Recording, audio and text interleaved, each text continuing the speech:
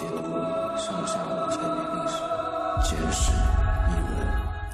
湖北钟祥市九里回族乡三岔河村有一明朝皇族大墓，这墓便是大名鼎鼎的尹靖王及其王妃郭氏的合葬墓。此墓曾接连九次被盗，却始终无一人盗墓成功。曾有盗墓者不信邪，用炸药轰炸过此墓，直至将墓室以上的八层土全部炸完，也未能成功。九次被盗的经历让尹靖王墓增添了些许神秘色彩，人们纷纷议论：这墓中到底有何物？为何屡遭盗墓贼光顾？此墓难道有真刚不坏之身，炸药都不能将其炸开？面对越发猖獗的盗墓贼，二零零五年，为了保护墓内文物，国家文物局决定对此墓进行抢救性挖掘工作，而此墓的种种谜底也随之被一一揭开。尹靖王是明太祖朱元璋的第二十四子朱栋。尹王贤孝，年龄幼小，对于皇位之争十分淡然，因此深得朱元璋喜爱。在朱元璋去世后，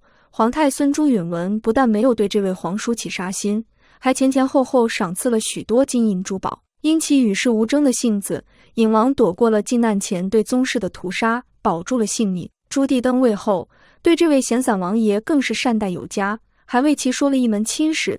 娶了开国功臣武定侯郭英之女郭氏为妻。永乐九年，尹王到了年纪，需到封地安禄就藩。朱棣十分不舍，不但免除了安禄的三年赋税，还赏赐了许多钞币宝物。尹王性格平和，素来喜欢吟诗作对，还亲自撰写诗集作赋。到达封地后，更是督促生产，专心为民。安陆也是一片繁荣景象。只是如此雅王，在永乐十二年便去世。终年只有二十七岁。朱棣在得知消息后不胜痛悼，辍朝足足十五日，以表对这位兄弟的哀思。赐谥浩靖，又称尹靖王，这足以见得尹靖王在朱棣心目中的地位。尹靖王无子，在他过世后不久，王妃郭氏因思念至极，殉葬而亡，后与尹靖王合葬。因此，三岔河村的大墓是尹靖王及其王妃郭氏的合葬墓。尹靖王生前深得皇帝喜爱。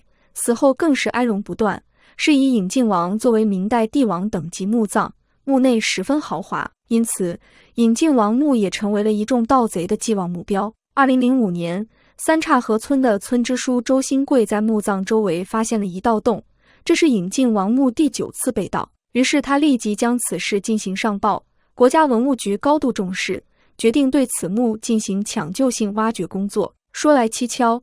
曾有盗墓贼用炸药轰炸过此墓，导致墓室以上八层土全部炸完，都未能成功盗墓。因此，此次挖掘工作得到了政府部门的大力支持。除了专业考古队外，还有大量记者、警察也一同前往。整个挖掘工作长达四十多天。本以为工作队内专家经验丰富，古墓的发掘工作应该十分顺利。谁料真正发掘时却困难重重，接连发生了一连串奇异的怪事。二零零五年十一月，在一声声炮竹声中，尹靖王墓正式开始发掘。经过勘察，想要到达墓室需经过响殿，但因环境的变化以及盗贼的破坏，响殿的地上已被夷为平地。工作人员随即开始清理墓道。考古队原计划在一周内完成清理墓道的工作，但谁料只清理墓道一项。便耗时半个月的时间，这是为何？当工作人员用镐挖掘时，却发现墓道的土都是被夯实的夯土，异常干硬，泥土内似乎还掺杂了一些杂物，工人们根本挖不动。见此情况，只能找来更多的工人进行增援。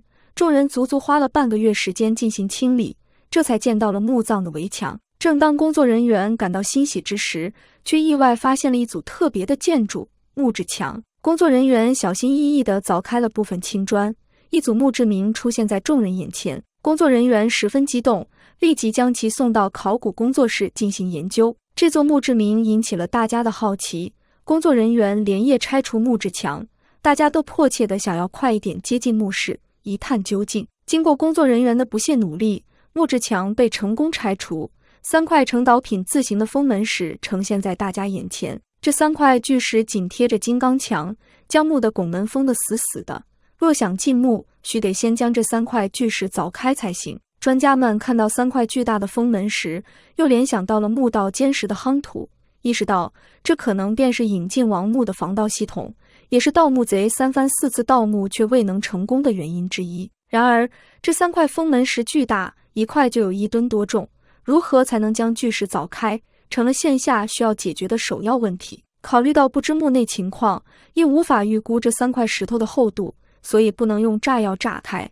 若石头倒塌到室内，损坏室内文物，那后果更是不堪设想。随即，考古队找来专业人士，运来了大批量的废弃轮胎，将其作为垫底。工作人员对准封门石上方的缝隙，插入专业工具，将三块巨石顺利撬开，移出了墓室。随着封门石被移除，一堵用残砖废石砌成的封门墙便出现在大家眼前。只要拆除了这堵墙，尘封在引进王墓六百多年的画面便可一一揭开。此时，现场早有闻讯赶来的记者，人们屏气以待，期待着揭开引进王墓的神秘面纱。引进王墓封门墙的拆除工作正有条不紊地进行着，因石墙坚固无比，工作人员敲打了好一会，才隐隐凿开了一条缝隙。正当大家看到希望之时，奇异的现象却发生了：大量白色气体从出现的缝隙中突然喷涌而出，这可吓坏了众人。众人以为是毒气，便赶忙紧紧捂住口鼻，屏息以待。此白色气体跟前面的夯石、封门石一样，均为引进王墓的防盗系统吗？仅凭肉眼，工作人员无法分辨这些气体究竟是有何奇特之处。为了弄清楚这些白色气体究竟为何物，工作人员立刻找来一根细管，将管子伸进了缝隙内，抽取了部分气体，将样本立即送往研究中心进行检测分析。本以为气体很快就会散尽，谁曾想这些气体竟接连不断涌了好几个小时。待气体散尽后，工作人员立即上前，将封门墙一口气拆除了五六层。随着石墙被拆除，两扇鲜艳的朱砂石门便出现在人们眼前。大红石门上有一尺多长的铁锁。两门之间有一约十公分左右的缝隙，考古人员透过缝隙往墓内看时，发现墓室内云雾缭绕，白茫茫一片，全部都是雾气。面对接二连三的怪事，有着丰富考古经验的专家们心中都有了一丝异样的感觉。尽管是在大白天，周围也有武警人员的保护，但大家心中的所谓阴森之气却久久不能消散。那么，大红石门为何会有如此大的一个缝隙？大门的背后究竟暗藏什么玄机？随着石门的开启，尘封了六百多年的历史也逐渐被揭开。大门被打开，墓室的前世也呈现在大家的眼前。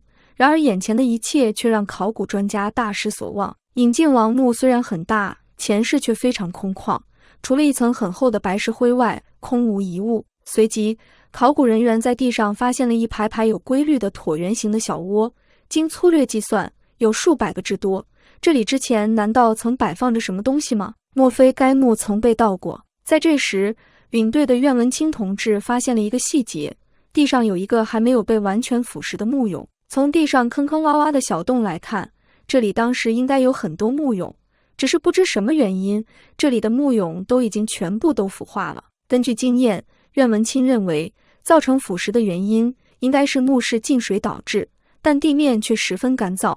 不像是曾经进过水的样子。专家们继续勘察周围环境，果然在墓室墙壁上发现了玄机。专家发现墙壁上有多处进水痕迹，且进水线位置较高，这说明墓室曾不止一次进过水。这也就能够解释为何前世空无一物了。引进王墓左右对称，呈亚字形，紧挨着大门的为前室，前室过后为中室，两侧各有一间耳室。前世的礼器已全部遭到破坏，那么中室是否能有所收获呢？清理完前世后，考古人员顺着甬道朝中室走去。走到中室后，映入眼帘的是一个石门槛，而墓室的门因为是木质的，也已经被腐蚀，歪倒在地上。其实这扇门实则起到了一个屏风的作用，目的就是为了与前世做出间隔，不能够直接看到中室的情景罢了。门后，中室内仍然空无一物。这让考古人员难免有些失落。难道中室又没有任何收获了吗？但经过勘察，工作人员却在中室的地面上发现了一些特别之处。从地面的痕迹来看，这里应该曾经摆放了六个大的木箱子，长九十厘米，宽六十厘米，里面盛放的物品应该不在少数。只是这些木箱也因墓室进水多次，全部都被腐蚀。前世、中世的物品接二连三被大水腐蚀，墓室被密封得如此严实，水究竟是从何而来？考古队员们只能根据情形进一步观察研究。很快，中室清理完成，接下来的工作便是清理中室两侧的耳室。进入耳室后，考古人员发现这里狼藉一片，地上布满了破碎的漆皮、棺木等木质构件，一时分不清里面究竟都有些什么。经过清理，发现，在两侧耳室内共摆放了六具棺材，每间耳室各三具。且在清理过程中，考古队员还发现了人的牙齿以及簪花等发饰、首饰等装饰品，且每个墓中都大致相同。而根据这些牙齿推断，这六名尸体均为女性。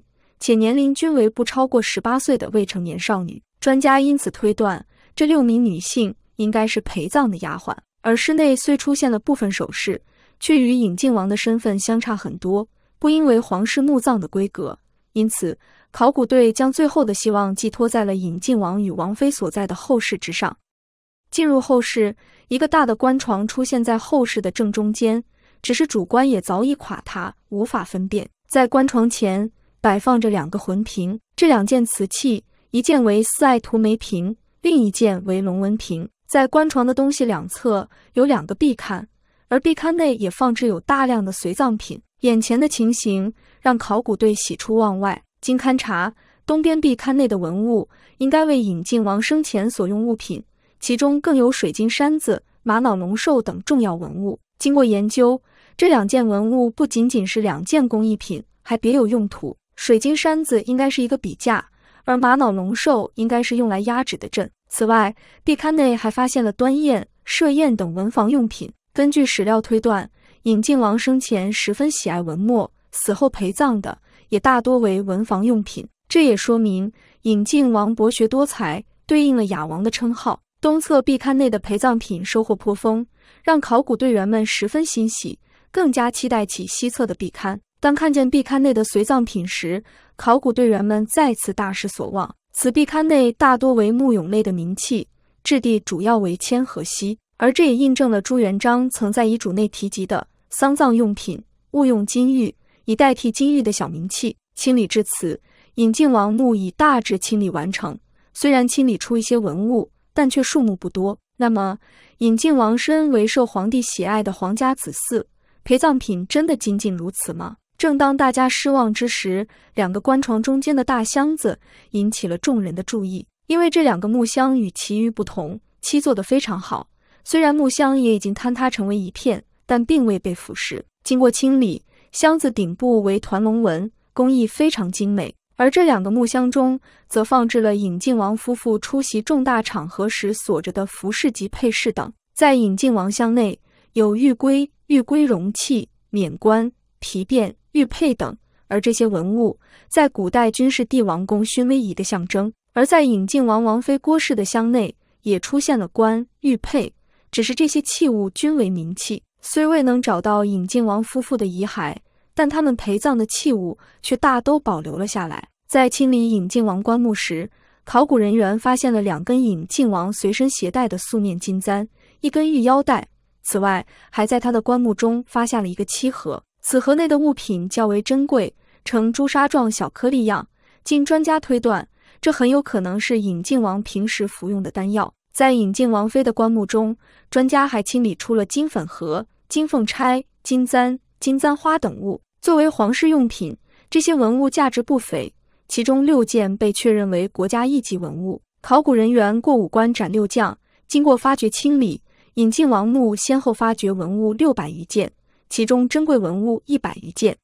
此次发掘中最为重要的两件器具，实则是在棺床前摆放着两个魂瓶——四爱图梅瓶及龙纹瓶。经专家研究，这两件器物为元代青花瓷，是珍贵的标准器。而尹靖王妃的四爱图梅瓶，分别绘有王羲之爱兰、周茂书爱莲、林和靖爱梅鹤、陶渊明爱菊，是以为四爱图。湖北省博物馆更是将其视为四大镇馆之宝之一。四爱图梅瓶真实还原了古代四位高士的闲情逸致之景，是元代青花瓷中极为罕见的珍品。正当考古专家感到欣喜万分之时，有着丰富科技考古经验的武汉大学教授陈观涛有了一个新的发现。因在此前的考古过程中，已发现了墓中多处进水痕迹。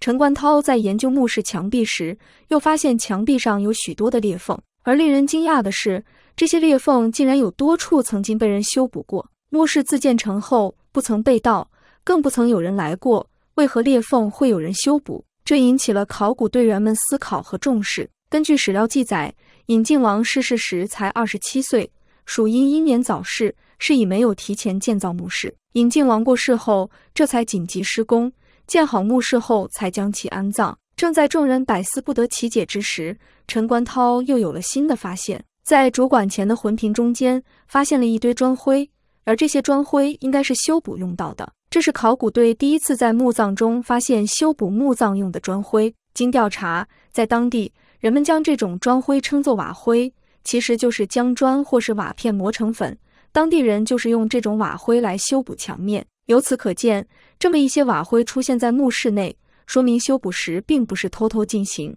而是真真正正的在修补墓室。只是这些没有用完的瓦灰为何会留在原地没有被清理？为何有的裂缝已经被修补，有的却没有呢？据陈观涛猜测，当时墓葬在修建的过程中，很有可能发生过地震，而墓室则因地震被震出了缝隙。出现缝隙后，工匠们便奉命前去修补缝隙。只是没想到，在修补过程中又发生了余震，工匠们怕自己也随着在此陪葬，便匆匆掩门逃亡而去。这也就是为何墓室的大门会有十公分左右缝隙。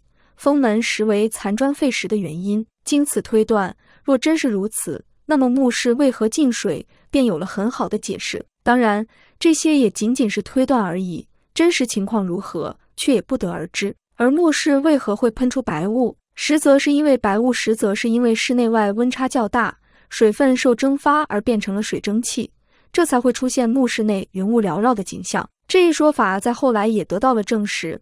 拿去检测的白雾样本结果显示，白雾确实不是什么有毒气体，而是水蒸气。此次引进王墓的发掘，出土了两件堪称国宝的元代青花瓷，发掘文物六百余件，含珍贵文物一百余件，是考古史上的又一次奇迹。这些文物代表了我国源远流长的历史，让我们有幸能够了解、认识到这些精美的文物的同时，也为我国研究历史文化奠定了坚实的基础。而在现代社会的我们，应当以尊敬的心态去看待这些文物，更应保护好我国的历史文物，积极弘扬我国的历史文化。